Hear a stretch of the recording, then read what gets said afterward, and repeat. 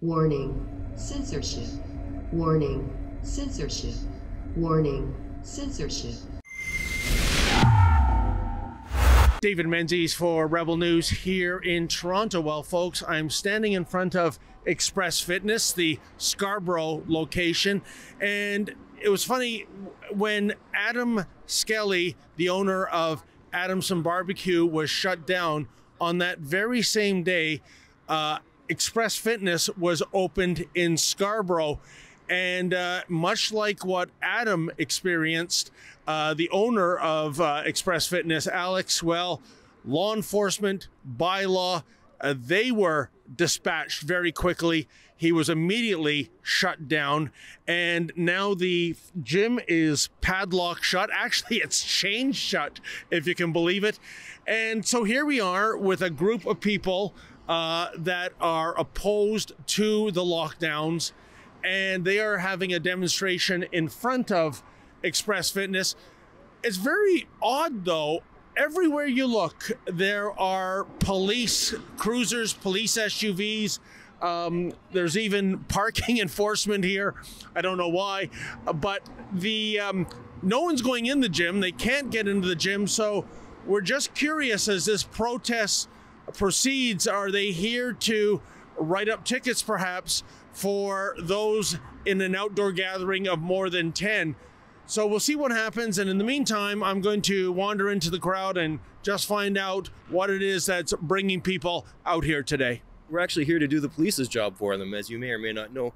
Police in this province, at the very least, I think the whole country, but definitely in this province, in their oath, it says that they're they're sworn to uphold the Constitution.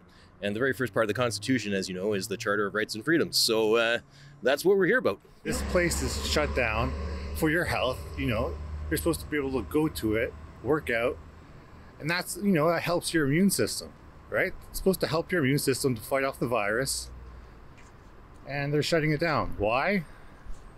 Where's the evidence? Well, folks, this is incredible. We were tipped off by one of the demonstrators that the mounted unit was on standby I didn't believe it at first because the gym is completely closed down. You can't get into it even if you wanted to. So where is the issue here? Where where would the law breaking be uh, uh unless they're going to clamp down on peaceful protesters? But lo and behold, here we are on a side street next to the gym, and two units of the uh, the mounted unit are indeed on standby. It, I'm almost at a loss for words. John Tory and Dr. Eileen de Villa are truly doubling down, tripling down, sending a message to any business, and for that matter, any group of protesters, that if you cross any perceived line, you are going to be dealt with and dealt with harshly. This is an outrageous overreach, I think, uh, by the the police, which of course are being directed I believe, by de Villa and Tory. Shameful. Well, that was the scene last Saturday at Express Fitness in East End, Toronto. The gym is shuttered now after the owner tried to follow in the footsteps of Adam Skelly, the father of the Great Canadian Barbecue Rebellion. But much like Adamson Barbecue, Express Fitness was also shut down for non-compliance with the Wuhan virus regulations. In Mayor Tory's Hogtown, if you want to barbecue. If you want barbecued grub or buy brisket or break a sweat, you best get yourself to a Walmart or a Costco to buy your meat there or purchase a treadmill because you see, the big box stores, well, folks, they're special.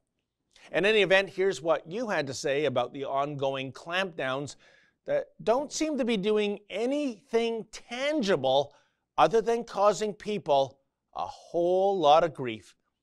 Mike Sharkey writes, so Toronto is completely crime free now. All the criminals have been uh, tracked down and locked up. The cops have nothing better to do with their time? Yeah, it sure seems that way, Mark, but I bet you the vast majority of the cops hate these kinds of assignments. Imagine finding and arresting people just for trying to make a living.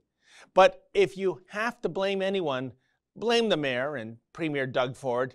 They're the ones behind making life miserable for so many people in the GTA. Dale McCluskey writes The mounted unit is there to make certain your rights are trampled into the ground. You know, that's what happened at Adamson Barbecue two weeks ago. Thankfully, the horses weren't deployed to break up the Express Fitness protest, but why were they there in the first place? X Supra 35 writes All businesses open your doors now. You are essential, and we need you now more than ever. I'd love to see that happen too, X Supra. If hundreds or even dozens of businesses opened up at the same time, what could be done about that? They can't lock down every business and imprison every business person. But for the time being, it looks like Mayor Tory's intimidation tactics are working. And Mike Mills writes, Where is Sneaky Patrick? Oh, as in Sneaky Patrick Brown, that lying liar who is the mayor of Brampton.